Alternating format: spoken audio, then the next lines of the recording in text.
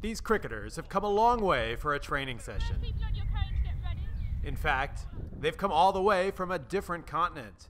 The recent arrival of tens of thousands of asylum seekers has given the sport an unexpected boost here in Germany.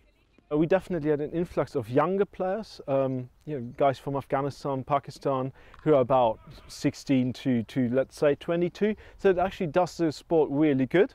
Uh, you get new players, new talent. The number of cricket players joining local leagues has more than tripled in the last five years.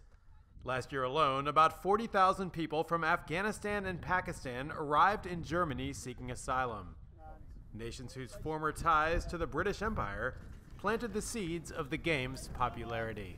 While some refugees have joined leagues like this to get their cricket fix, they're also finding places to play whenever and wherever they can.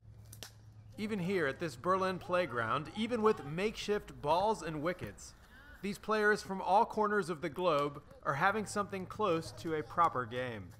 For many, it's a reminder of a simpler time.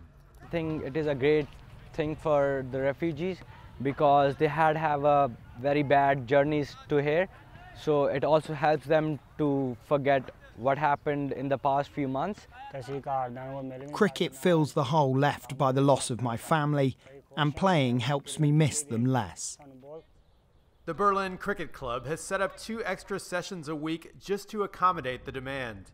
And with competition fierce for resources and field space, the local cricket community suddenly has some clout. But the sport hasn't bowled over football as the sport of choice with locals just yet. Over half the players on the country's under 19 national team are refugees from Afghanistan.